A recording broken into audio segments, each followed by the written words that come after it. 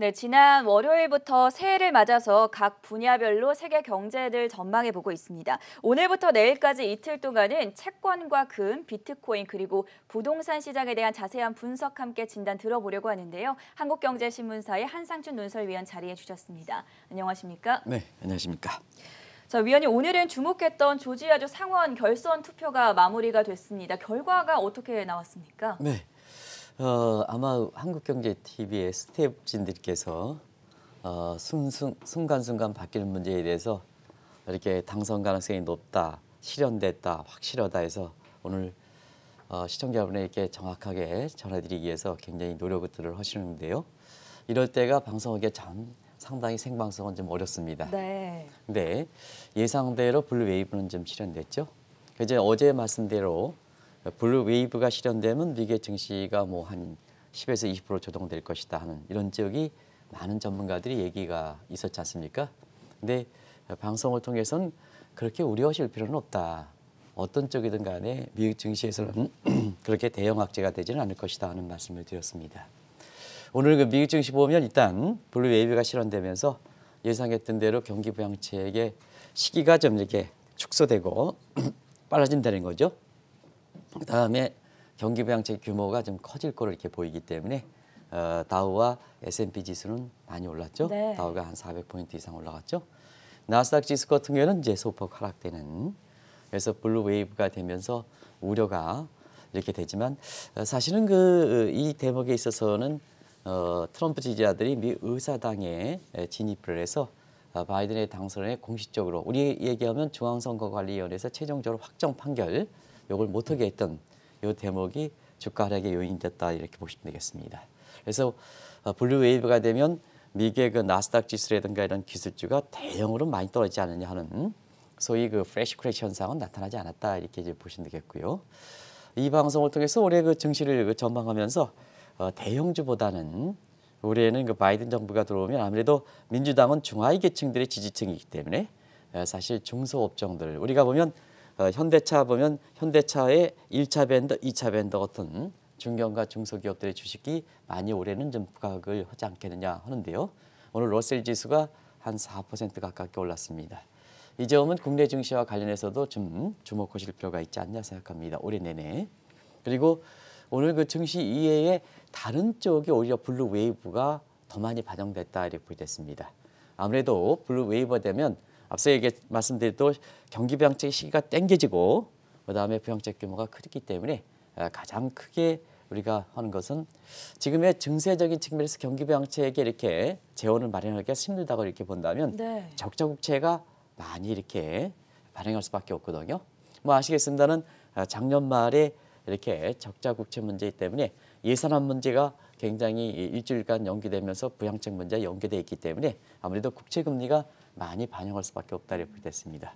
그래서 미국의 대표 금리인 10년물 국채 금리가 1%에 진입한 것은 향후 주가 흐름과 관련돼서 굉장히 주목해서 바라볼 필요가 있지 않냐 생각합니다. 왜 그러냐면 지금은 유동성 장세거든요. 그래서 실적으로 자연스럽게 선순환 구조를 되면 어, 사실 유동성 장세에서 금리 인상에 따른 영향이 덜 받겠습니다는 지금 유동성 장세에서 실물 경제가 끌어오지 못한 상태에서 이 금리가 이렇게 시장 금리가 올라가면 네. 유동성 장세의 쥐약이 되는 이런 꼴이거든요. 그래서 오늘 그 이렇게 미국의 금융 시장에서는 이렇게 미국의 10년물 국채 금리가 1%에 올라가고 앞으로 지속 가능성이 있느냐 하는 대목은 유동성 장세에서 가장 주목하실 필요가 있다는 걸 말씀드리고요. 그다음에 블루 달러 문제입니다.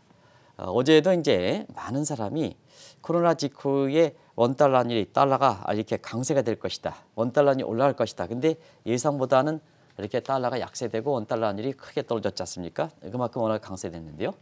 그러다 보니까 예상하지 못했던 사람이 환율이 떨어지면서 아주 두 자리대에 많이 떨어질 것이다. 이렇게 이제 에, 이렇게 그 봤던 측면인데요. 어, 어제 어, 외환시장을 점검하면서 환율 하락 속도를 많이 들어야 된다. 오히려 변동성이 확대되는 거다. blue wave 그렇게 달러 약세를 작용할 것이는 않을 것이다. 오늘 한번 보겠습니다. 달러 인덱스 보면 많은 사람이 blue wave가 되면 달러가 약세, 달러 인덱스가 많이 폭락할 것이다 하는데 네. 에, 사실 그 어, blue wave가 됐는데도 불구하고 달러 인덱스가 거꾸로 올랐죠. 이런 측면에서는 어, 사실 오늘 어, 이렇게 증시보다도 그 미국의 국채 금리, 그다음에 달러 인덱스 흐름 이런 축을 blue wave 이후에 예, 사실 그 어, 향후 그 재테크 관련해서 주목해서 보실 필요가 있다는 걸 말씀드리겠습니다. 자, 위원님이 말씀하시는 도중에 살짝 언급을 해주시기는 했지만 오늘 트럼프 대통령을 지지하는 시위대가 의사당에 난입을 하면서 난동을 부렸고 지금 바이든 대통령 당선인도 생중계 라이브 연설을 통해서 강하게 비판을 하는 모습입니다. 이 부분은 증시에 어떤 영향을 미쳤다고 보십니까? 네, 사실은 미국의 바이든 정부가 이렇게 출범해서 네. 어, 집권 한 2년 기간 동안에 어, 바이든 오믹스가 이렇게 성공하느냐 이 여부에 있어서는 미 대선 과정에 에, 사실은 그 트럼프의 지지파, 네. 그다음에 바이든 지지파에 우리가 한국경제TV에서는 어, 트럼프 국가와 그다음에 바이든 국가라는 표현을 썼습니다. 이렇게 양분화됐던 이런 문제를 화합시키느냐 하는 문제가 어, 바이든 정부, 민주당 정부의 에, 사실 성공 여부, 어, 바이든 오믹스의 그 성공 여부를 가늠할 것이다. 이게 가장 최대 난제가 될 것이다 하는 네. 이런 말씀을 드렸습니다는 사실은 저렇게 저도 국제금융 30년 종사합니다는 미국은 경선 어, 이렇게 뭐든지 게임 직전까지는 아주 치고 난투박하다가 게임 결과가 나오면 아주 승복하는 것이 깨끗이 승복하는 것이 어, 정치체에서는 민주주의야 그다음에 그 경제적 측면에서는 자본주의 시장 경제에 어떻게 보면 선진국이다 평가받았던 가장 큰 대목이거든요. 그렇죠. 근데 오늘 마지막에 이렇게 어, 의사봉을 그 두드리기는 이 시점에서 저렇게 난투를 벌이다 보니까 오죽했으면 어, 영국의 사실 미국에 대해서 이렇게 어, 이렇게 그 비우적으로 보면 영국의 BBC까지조차도 어, 사실 그 어, 이렇게 생중계하는 이런 모습을 제가 방송 직전까지 그 지켜봤던 거거든요. 그리고 BBC에서 1월 20일까지는 트럼프 대통령, 프레젠트 트럼프를 이렇게 써야 됩니다. 네. 근데 BBC에서 이렇게 보면 트럼프가 보여준 마지막에 저질적인 자세 이런 측면에서 보면 미스터라고 쓰고 있습니다. 어, 미스터 트럼프. 미스터 트럼프라고 썼습니다. 그 표현이 시청자 여러분한테 어떤 뜻을 시사하느냐? 의미가 있네요. 그렇죠? 자본주의, 민주주의에선 경선의 결과에 대해서는 깨끗이 승복해야 되는데요. 네. 최고 통수권자가 국민을 위해서 조정자 역할을 하는 입장에서 보여주는 태도 이 측면에서는 물론 트럼프 대통령이 트럼프 옹호자에 대해서 그러지 마라 하지만 사실 그것도 계산된 행동이다 하는 입장에서 어, 우리가 보면 1월 20일까지는 이렇게 President 트럼프라고 써야 되는데 미스터 트럼프라고 쓴 것은 어, 상당 부분 한 나라의 통수권자가 얼만큼 잘못 걷는가 하는 측면이고 그것이 미국 경제 지금의 에, 사실 바이든 정부 후속 정부인 바이든 정부에 놓아주는 과제다. 그 과제가 미국의 민주주의와 시장 경제 깨끗한 경선에 대해서 승복이 않으니까 결과적으로 오늘 증시에서 증시에서 사실 그 blue wave가 이렇게 확정적으로 나오기까지도 미국의 나스닥 지수가 상승세를 유지했는데요. 그렇죠. 난동 후에 미국의 전통이 깨닫다는 측면에서는 사실 주가가 떨어진 측면도 크다 이렇게 보시면 되겠습니다. 자, 미국 상황에 대한 분석은 여기까지 들어보도록 하겠고요. 어제 국내 증시에도 또 하나 기념비적인 일이 일어났습니다. 종가 기준으로는 하락하기는 했지만 장중에 코스피 지수가 사상 처음으로 3천 시대를 열었는데 이 부분도 함께 짚어주시죠. 큰 지수는 한꺼번에 올라갈 수는 없죠. 네. 그래서 그때 왔다 갔다 하면서 이렇게 올라가서 되는데요. 어쨌든 장중이나마 3천 포인트는 우리 증시라든가 우리 경제라든가 그리고 우리 경제 어, 경제를 지금 이끌어가는 이끌어가는 현 어, 정부뿐만 아니라 이전의 정부도 모두가 굉장히 역사적인 날이다.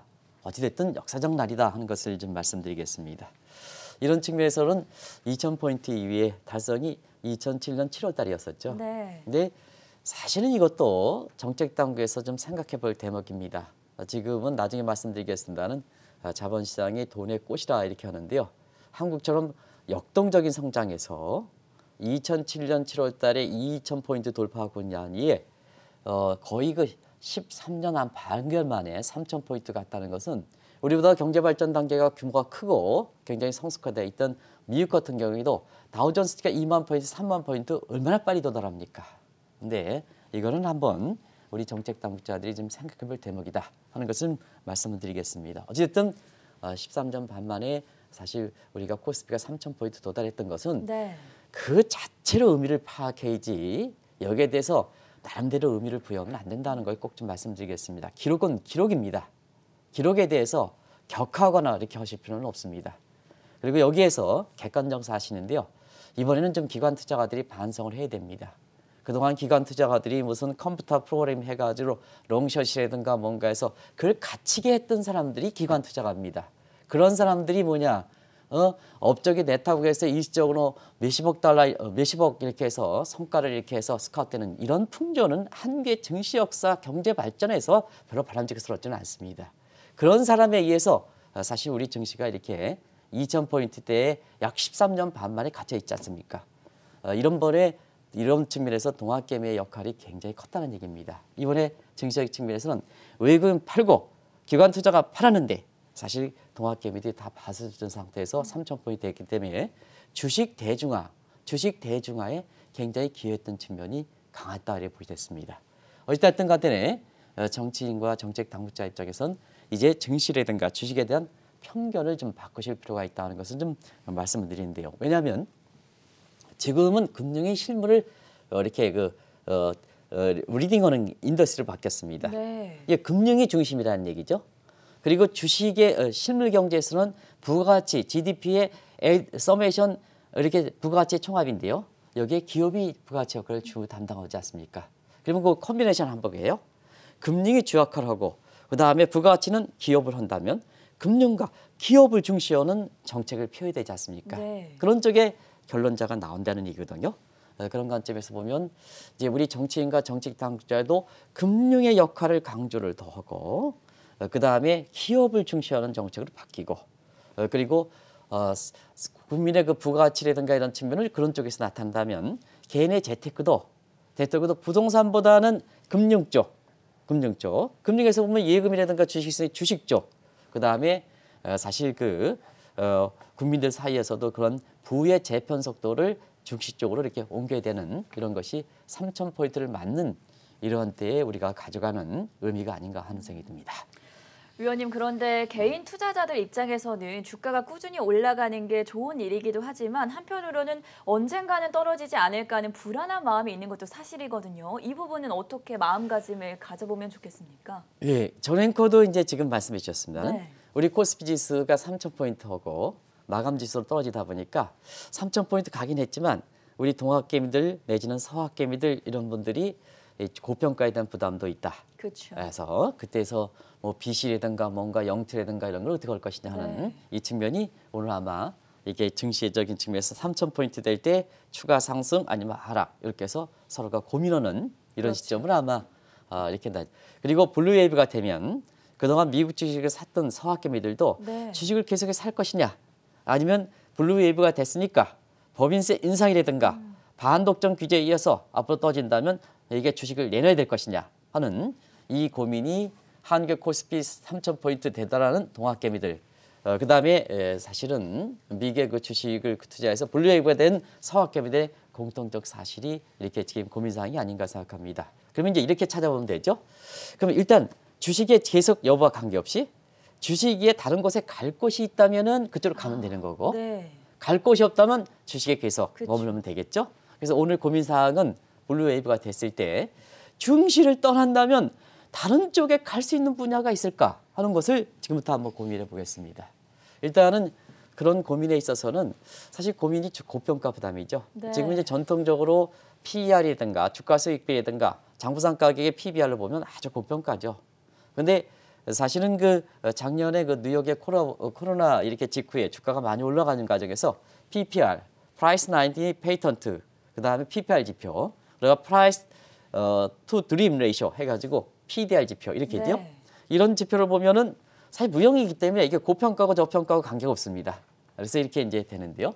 사실 지금 시점에서 보면은 어, PR과 PPR 지표를 보면 전통적 지표는 고평가, 아주 고평가. 그다음에 나머지 지표를 보면 확실하지 못하는 이런 상태인데요. 항상 그렇지 않습니까?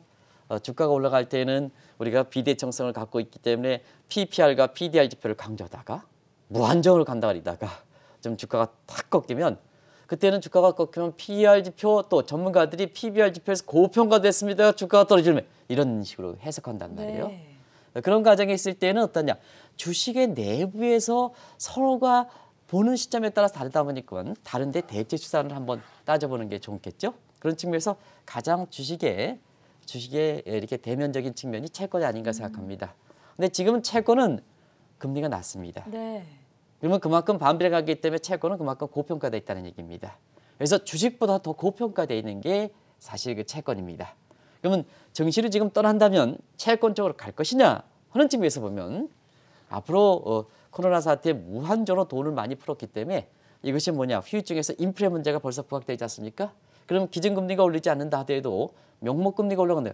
오늘도 채권금리가 1%더 올랐지 않습니까? 네. 그러면 그만큼 채권 가격이 떨다는 얘기거든요. 그렇죠. 그래서 어, 지금은 blue wave든 우리 코스피의 3천 포인트 내서 사실 주가가 고평가 부담이 있는 상태에서 주식을 떠난다면 채권 쪽으로 갈 것이냐 위험 자산이 떠난다면 안전 자산 대표권 채권이 갈 것이냐 하는 측면에서 채권은 더 어렵다 이렇게 판단해 보시면 되겠습니다. 특히 하반기에는 채권은 상당히 좀 어려울 거로 이렇게 봅니다.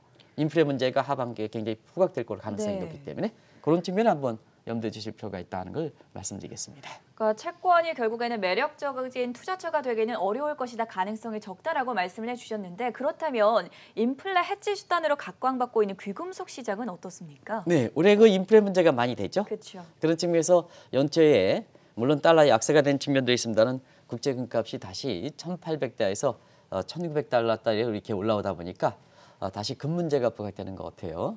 그런 과정에서 작년 8월 달에 요와 비슷한 상황에서 여기 이제 근래에 없었던 일이죠. 미국의 민주주의 체제에서는요. 의사당이 아, 트럼프 지지해서 이렇게 되는 것은 네. 미국 민주주의 위협이자 시장 경제 위협입니다. 그러다 보니까 어, 차기 대통령 어, 이렇게 그 당선자인 바이든 입장에서 보면 화학과 통합을 강조해서 어, 사실 이렇게 화학과 통합이 강조한다면 상대방을 달래야 되겠습니다는 상당히 위협적인 일이다 하는 이례적인 걸로 이렇게 나오고 있습니다. 여기 한번 보세요. 네. 시가 아니라 반란이다 그렇죠. 해서 굉장히 공격적인 표현을 쓰고 있지 않습니까? 이게 blue wave보다 아, 사실 미국의 민주주의의 본질, 월가의 본질을 훼손시킨다 하는 이 측면에서 2011년 뉴욕의 폭동 사건과 마찬가지로 어, 이렇게 기술주를 떨어뜨렸던 요인이다 하는 걸 말씀드리겠습니다. 어찌됐든 작년 8월 달을 생각하면 작년 8월 달에 국제 금값이 어, 이렇게 2,000달러가 넘었거든요. 네. 그때 일부 은행 PB들이 4,000달러, 5,000달러에서 그렇죠. 금 사라 기억이 납니다. 기억나십니까? 네. 그래서 이 방송을 통해서는 금이 이렇게 많이 올라가지 않습니다. 왜냐하면 물가가 지독히 안정돼 있습니다. 물가 인플레가 우려가 된다 하더라도 물가가 증강현실 시대에서 온라인이나 모바일 시대에서는 모든 게 보이기 때문에 예를 들어서 전 앵커가 한국경제TV에 제품을 생산한다. 근데 어, 한상춘 어, 논설인의 출연자가 출연료가 굉장히 높아서 생산 코스가 증가했다. 네. 그러면 한국경제TV의 프라핏을 맞추기 위해선 소비자에게 정강했지 않습니까? 그렇죠. 시청자한테 시청료를 좀 올려야 되지 않습니까? 아, 물론 이제 한국경제TV에 이렇게 출연료를 많이 주지는 않습니다는 네. 예를 들어서 그런 겁니다. 그러면 뭐냐 정가시키냐? 지금 모든 것이 다 보이지 않습니까? 모든 것이 보면 어 시청자한테 정가시킨다면 상대방의 예를 들어서 M 방송, 모 방송은 사실 그 이렇게 소비자에게 정가시키지 않는다 하면 어떻게 하겠습니까? 시청률이 확 저쪽으로 당기게 되겠죠. 이게 보이는 시대 증강현 시대다. 그래서 공급자가 생산 코스가 증가하도록 과거처럼 독과점 이용해서 자 소비자에게 정가시키는 이런 구조가 안 되거든요. 이게 아마존 효과, 월마트 효과, 이마트 효과 이렇게 보시면 되겠습니다. 이런 식이 되기 때문에 물가가 이렇게 올라가지는 않습니다. 그래서 일부에서는 인플레 해칭 수단, 어, 실물 자산, 금뿐이 올라가지 않겠느냐 하는 이런 입장에서 어, 그런 가능성이 정기하기는 상당히 없다는 걸 말씀드리고요. 그리고 항상 골드뱅킹, 골드뱅킹 할 때 항상 말씀드리면 금테크라 얘기하는 사람은 그 사람 믿지 마시기 바랍니다. 네. 금과 관련돼서는 금테크가 아니라 골드뱅킹입니다. 골드뱅킹은 유럽식 골드뱅킹이 있고 미국식 골드뱅킹이 있습니다. 네. 어떤 차이? 유럽식은 실물, 골드바. 그다음에 골드뱅 미국식 골드뱅킹은 금과 관련된 DLS 상품, 금융 상품이죠. 어, 그런 측면에서 변동성이 어, 금과 같은 경우는 공급 구조에서 이렇게 그 독과점 구조를 갖고 있기 때문에 미국식 골드뱅킹이 낫다 이렇게 말씀드리고요. 혹시 실물을 한국 사람들은 이렇게 설명하더라도요 실물을 갖기를 좋아합니다. 네. 아마 어, 저런 것께서도 결혼하실 때 결혼 예물로 하면 어 어, 이렇게 바깥 어르신 예비 바깥에 어르신 분께서 어 이렇게 골드와 관련된 DLS 금융 상품을 가져오는 것보다 어, 이게 골드바 실물을 네. 가져오는 거를 아마 선뜻하게 될 겁니다. 근데 그렇게 투자하면 안 된다. 네. 왜냐하면 실물 투자는 부가가치세, 상품 거래기 때문에 부가가치세 매기고 비용이 많기 때문에 어, 사실 손에 드는 재테크 수단은 적기 때문에 아마 금테크, 금테크 이렇게 그 해서 보통 사람이 얘기하는 이런 gold banking을 하실 때는 어, 미국식, 유럽식 gold banking 실물 투자보다는 미국식 gold banking을 권해고요. 혹시나 올해 하반기에 물가 문제가 이렇게 될 때는 금 가격은 실물 가격은 하반기는 올라갈 수 있다는 것을 말씀드리겠습니다. 금을 제외한 원자재 가격도 상당히 궁금한데요. 작년 말부터 사실 원자재 super cycle이 도래할 수 있다. 이런 논쟁이 불거지지 않았습니까? 우리가 super cycle 문제에 대해서는 이게 20년 장기간 지속돼야 된다 네, 이론적으로 하다 보니까 말씀해 주셨죠. 그 이후에 super cycle이라는 표현을 안 쓰는 것 같아요. 예, 이렇게 그래서 이게 용어상도 이렇게 어, 증권사에 관련돼 있는 사람들이 그 용어를 좀 정확하게 좀 쓰실 필요가 있다. 이 방송을 하고 이렇게 그 paper를 바라보는 입장에서 보면 굉장히 헷갈릴 수가 있다는 걸 좀 말씀드리겠습니다. 그래서 그때 당시에 super cycle 문제를 그 정리하다 보니까 이제 super cycle 반도체 super cycle도 그렇고 원자재 super cycle도 그렇고 어, 5세대 5G 같은 super cycle 문제도 이제는 정리가 되는 모습인데요.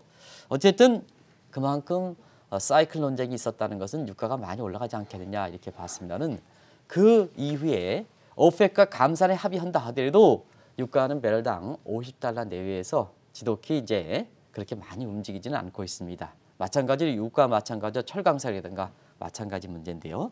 우리가 얘기하는 유가의 그 슈퍼 사이클 문제 이런 것은 이렇게 개념도 틀렸고 가능성이 적다는 걸 말씀드리겠습니다. 과거에 한번 사태가 쭉 이렇게 설명되겠죠. 1차, 2차, 3차. 이때 상황입니다. 이때 버금될 수 있는 상황이 나오느냐?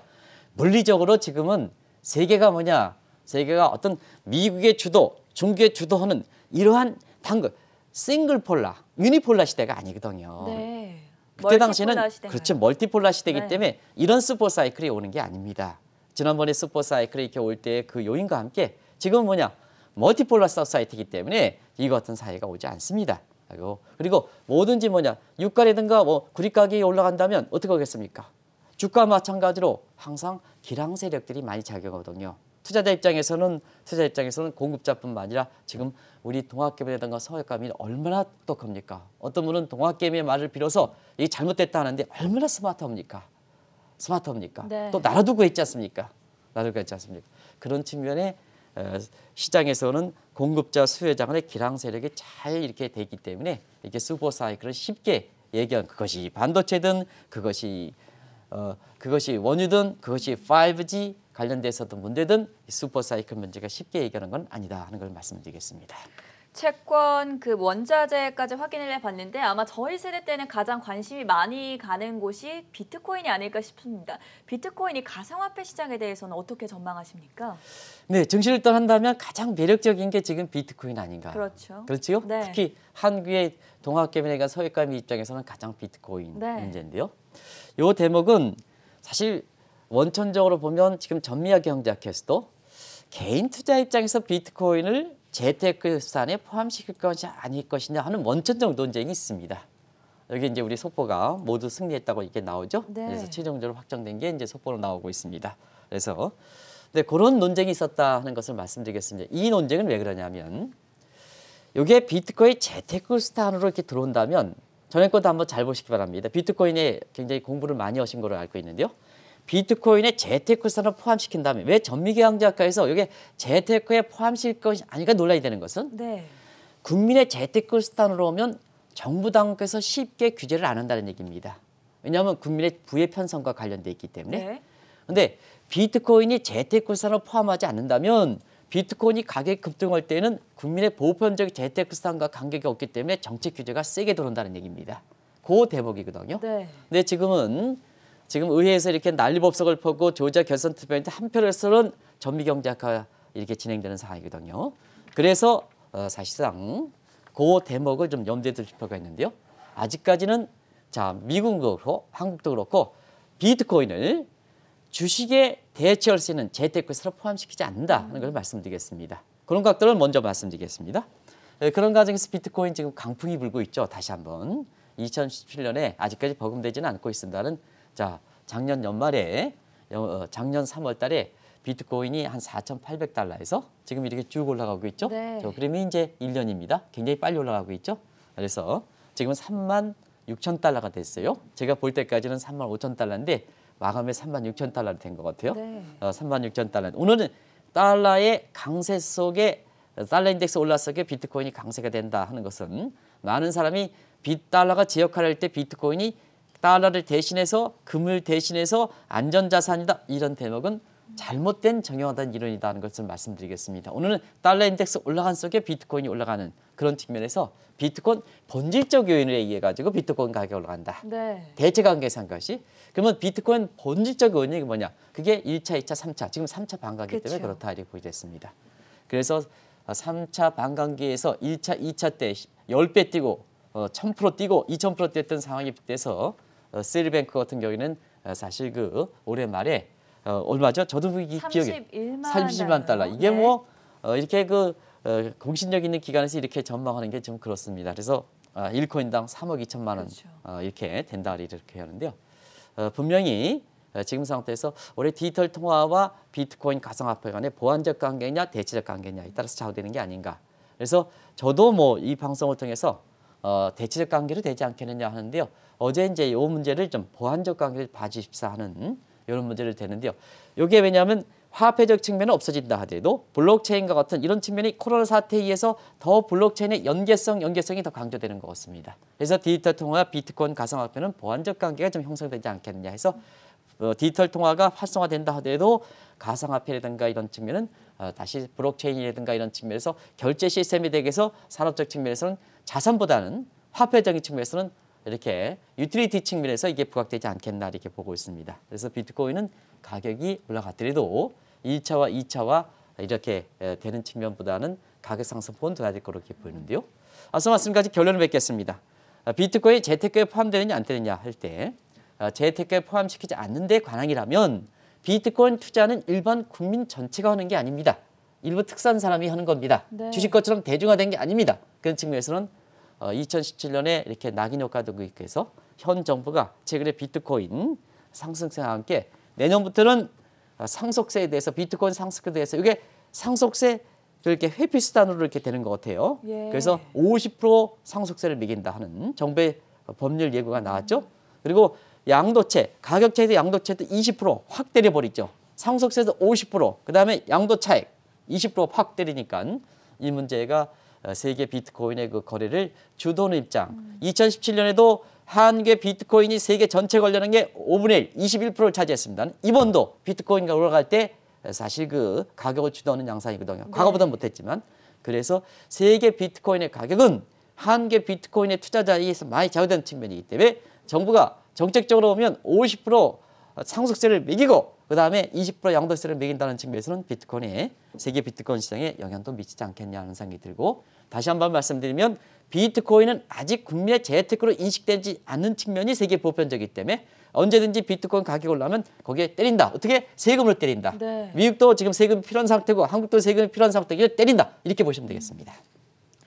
위원님이 코스, 이제 코스피 코스닥 지수가 코로나 사태 이후에 너무 많이 올라갔기 때문에 개인 투자자들 입장에서는 돈이 많기도 하고 또 워낙 큰 상승장을 경험했다 보니까 투자 성향도 공격적으로 변하는 것 같거든요. 이 부분도 설명해 주시죠. 우리가 사실은 위험 자산은 위험을 부담해 주가가 올라가는 겁니다. 네. 작년에 코로나 직후 때는 가격이 우리 코스피가 1453이지 않습니까? 그쵸. 위험 자산이라는 걸 리스크를 안아야 되는 거지. 위험 자산이랬고 그때 당시에 일부 뭐냐 이렇게 그 어, 시장 많은 대학 교수님이라든가 이런 측면에서는 어 코로나 사태 주가가 많이 떨어집니다. 1453인데 주가가 1000포인트 밑으로 더 떨어집니다. 이건 잘못돼 있다. 네. 위험 자산은 위험을 리스크를 안아야 돈을 버는 거지 그렇습니다. 그래서 공격적 자세는 작년 코로나 직후에가 공격적 자세다 이렇게 보자 있습니다. 근데 지금 뭐냐 주가가 올라가니까 사실 여기에 초기에 투자했지 못했던 사람들은 굉장히 남의 돈 버니까 굉장히 부러워져. 포함하라고 그러죠. 그렇죠. 나만 소외되는 현상이 예. 너무 두렵다. 그러다 보니까 뭐냐 정작 신중해야 될 때 네. 신중히 공격적으로 나선다는 얘기입니다. 굉장히 지금 뭐냐 개인 투자가 지금 무서운 점은 굉장히 위험 자산에 대한 선호 심리가 굉장히 뭐냐 그와 심리가 포머 심리와 함께 굉장히 신중해야 될 때 균형을 찾아야 될 때 더 위험하게 된다는 얘기입니다. 더 위험죠. 네. 그러다 보니까 뭐냐 어 주식 그래 그러다 보니까 쓰레기 채권 이런 데 투자한단 말이에요. 한번 보겠어요. 쓰레기 채권. 그다음에 아르헨티나 같은 디폴트 채권 이런 데 투자한단 말이에요. 그리고 BW 같은 이게 이제 투자 적격인 메자닌 펀드, 메자닌, 메자닌 이것을 발행하면 거기서 온데 어 그건 좀 돈이 안 되거든요. 네. 그러다 보니까 이 투자 부적격인 BWCP 같은 이런 데 투자한단 말이에요. 이게 옴니버스 펀드라든가 이런 게 여기 나오는 거 아니겠습니까? 공격적인 성향에서 이렇게 해서 그리고 부실 거래, 부실 거래되는 기업에 투자한단 말이에요. 그러니까 secondary market이 굉장히 활성화된단 말이에요. 그래서 한 가지 말씀드리면 위험 자산은 작년에 코로나 직후 때 왜 한국경제TV를 통해서 많은 사람이 주가가 떨어진다, 환율이 올라간다 할 때 왜 주식은 유일하게 올라간다, 환율은 떨어진다 이렇게 했다면 그때 당시에 뭐냐 위험 자산은 위험을 안하에 돈을 벌 수가 있다는 측면에서 주가가 폭락하니까 그때 위험이 많은 거 아니겠습니까? 그걸 감수해야 돈을 버니까 아, 사실 주가가 이렇게 많이 올라가서 돈을 초기에 투자한 사람이 대단히 많이 벌지 않습니까? 지금 뭐냐 포머에서 지금 주식을 산다. 얼마나 벌겠습니까? 네. 지금 뭐 한번 보겠습니다. 항상 맞습니다는 코스피 지수 지금 3천 포인트입니다. 작년에 1,454입니다. 1,000포인트 올라갔다. 1,000포인트 올라갔다. 33%입니다. 근데 1,450대는 80%입니다. 80% 이렇게 되거든요. 그런 측면에서는 지금은 너무 고위험 투자자를 제외하고는 이렇게 일부에서 얘기하는 뭐 하리드 채권이라든가 부실 채권이라든가 무슨 정크 펀드라든가 이런 매잔이라든가 이런 데 아주 하는 것은 지금이 정작 필요할 때가 균형을 갖고 신중하게 투자할 때다 하는 것을 말씀드리면 이거에 대해서 어, 주식의 이런 쪽에 지금 블루웹에서 주식에 대해서 다른 쪽으로 간다면 이런 쪽에 더 위험 자산 쪽으로 가야 되지 않느냐 이건 더 가지 않아야 된다는 얘기입니다. 네. 예? 이 주식에 대해서 설령 떠난다 그러면 더 위험이 높은 쪽으로 가는 것은 바람직하지 않다는 얘기입니다. 그런 결론을 몇개 드리겠습니다. Fear of missing out이라고 하죠. 나 홀로 이런 주식 상승세에 소외되는 것에 공포를 느끼기보다는 오히려 신중하게 접근을 할 필요가 있다라는 점 확인해 봤고요. 마지막으로 부동산 시장을 내일 좀 더 집중적으로 진단 들어보기로 하고 은행 예금에 대해서는 어떻게 생각하십니까? 이제는 어, 어, 금융이 실물에 대해서 우위에 있고 네. 저금리 체제가 이렇게 지속되는 데 있어서는 은행 예금 이자 소득은 재테크에 포함시키는 개념은 이제는 잘못됐다는 걸 말씀드리겠습니다. 어, 이게 이제 은행에 종사하고 또 은행에 제가 알고 있는 회장님들 뭐 이런 분은 야 당신 그렇게 얘기할 수 있느냐 이렇게 해서 서운할지 모르겠습니다는 정말로 지금의 트렌드가 그렇습니다. 한번 보겠습니다. 은행 예금은 요금 대기성 예금의 예치 다른 데 투자할 곳이 없을 때 불안할 때 예치하거나 정책 통로지 이자를 위한 재테크사로 사용하면 안 된다 이렇게 보여졌습니다. 그럼 이제 지금 한번 보게요. 대기성 자금은 지금 증권사 MMF라든가 쪽으로 편입할 수가 있습니다. 시청자 한번 보겠습니다. 정책 자금은 지금 중앙은행이 직접 자달하는 자입니다. 그러면 자 은행 부분에 있어서 이렇게 보면 대기성 자금이 증권으로 편입되고 그다음에 정책 자금이 은행에 직접 잔다면 자 어떻게 되겠습니까? 은행의 역할이 없어지는 거죠. 그리고 지금은 신진대사가 빠르지 않습니까? 얼마나 지금 빠르지 않습니까? 스타트업 젊은 사람들 스타트업은 모험성 자금이요. 젊은 사람들이 무슨 돈이 있습니까? 그래서 모험성 자금에 의해서 경제 신진대사가 돼야 되지 않습니까? 우리 현 정부가 강조하는 혁신성장, 혁신성장은 모험성 자금이 있어야 되는 거 아니겠습니까? 모험성 그렇죠. 자금. 모험성 자금은 담보나 요구해가지고 예대어는 은행에게 추가되면 안 된다는 의미입니다. 금감원장이라든가 금감위원장도 꼭 이거 보시기 바랍니다. 네. 경제 신진대사가 빨라야 라이프 사이클이 단축되는 상태에서 한국 경제가 경제 정책을 연계 연계하면서 자 많은 사람들이 올해 그런 얘기합니다. 인구 구조가 출생률이 가장 낮다. 고령화 속도는 빠르다. 어 인구 구조 가 고령화됐다. 한국의 지속 가능성이 성장이 낮아진다. 이렇게 얘기합니다. 그건 과거의 생산 함수라 얘기하는 거죠. 우리가 이 인구가 고령화되면 자본도 부의 축적도 고령화되거든요. 그런 상태에서 보면 자 금융이 실물을 선도하지 않습니까? 금융의 네. 역할이 중시하고 그다음에 노쇠화되는 나이가 늙어가는 자본을 젊게 되지 않습니까? 돈을 푼게 젊게 하는 게 아닙니다. 세물을 하는 게 있는 걸 젊게 하는 겁니다. 그 다음에 어떻게 되겠습니까? 돈을 젊게 되지 않습니까? 젊게, 네. 젊게, 젊게를 하는 것이 가장 빨리빨리 돌아가도록 걸 증시를 활성화시키는 겁니다. 에, 그런 측면에서 보면 이제 우리나라도 지금 은행 부분에 있었던 광역화 문제, 강력화 문제를 이렇게 가고 지금 이렇게 명예퇴직이라든가 되겠습니다는 지금 뭐냐 벌써부터 금융위기에 커머셜 전통적인 CB는 좀비화돼 있는 상황이거든요. 이게 미국 같은 경우는 아메리카 뱅크라든가 또 전부 인베스트 뱅크 쪽으로 바뀐 거 아니겠습니까? 그렇죠. 이런 쪽으로 가야 된다는 것을 말씀드리겠습니다. 그래서 어, 코로나 사태 이후에 실물에 있어서 보면 앞으로 덮질 부분은 이게 트렌드고 그다음에 코로나 사태 때돈 많이 푼 부분에 대해서는 앞으로 뭐냐? 앞으로 물가가 올라가는 부분 설령 올라가지 않던 물가 투자에서 보면 기대 심리가 올라가는 측면이 있거든요. 그러면 기준금리는 기준금리는 은행의 사실 그 많이 합니다. 왜 여기를 하면 기준금리가 작게 된다. 은행 부분은 예대 마진이지 않습니까? 그럼 예금금리는 본인 입장에서는 은행 입장에서는 수익금리가 되고 고객 입장에서 비용금리가 되죠. 그 다음에 대출금리는 은행 입장에서 비용금리가 되고 자 고객 입장에서는 수익금리가 되는 거죠. 어, 거꾸로 했나요? 어, 마- 맞습니다. 그러면 자 정책 단계에서 금리를 내렸다. 경기 부양한다. 네. 그러면 대출 금리를 내려줘야 되는데 은행이 내립니까 안 내립니까? 예금 금리만 내리죠. 예금리 내리죠. 네. 이렇게 되는 거죠. 이런 구조에서는 우리나라 같은 경우는 지독하게 뭐냐 지독하게 기금이 연연하는 것이 예금리다 이렇게 보시됐습니다. 그러면 시장금리 시장금리 같은 경우에는 자 어떻습니까? 기준금리가 예금리가 변동이 없는 상태에서 물가가 쫙 올라가면 실질금리 구매력 기준이라는 이자 이자 금리는 아주 마이너스가 되지 않습니까? 거기다 돈 넣으시겠습니까? 그래서 지금은 주식 쪽에 이렇게 되면 우리나라도 부의 재편이 되지 않겠느냐. 이거 뭐 부의 추월차선이라 그러죠. 그래서 사실 지금은 은행에 일부 발 빠진 사람은 은행에 전부 이렇게 빼가지고 좀 증시로 해서 은행에 지금 어, 증시의 대기성 작업이라든가 이런 중에 굉장히 지금 아직도 많지 않습니까? 그렇죠. 엄청 많지 않습니까? 앞으로 이런 구조가 돼야 되지 않느냐. 그래서 한국에서 보면 부동산 그 전문가라는 또 이렇게 지금 변 장관도 이렇게 보겠습니다. 은행의 담보대출 담보대출에서 예대 마진폭이 크면 부동산은 안 잡히는 겁니다.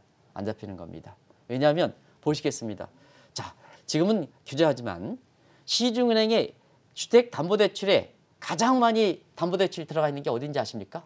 잘 모르겠습니다. 부동산 중에서 가장 담보가 확실한 게 어디입니까? 강남 부동산 아닙니까? 네. 강남 부동산 담보 확실하지 않습니까? 거기다 집중하면 집중하면 강남 부동산 가격이 올라갔지 않습니까? 그래서 어, 사실은 은행 부분은 좀 죽여야 죽여야 강남 부동산도 잡을 수 있다.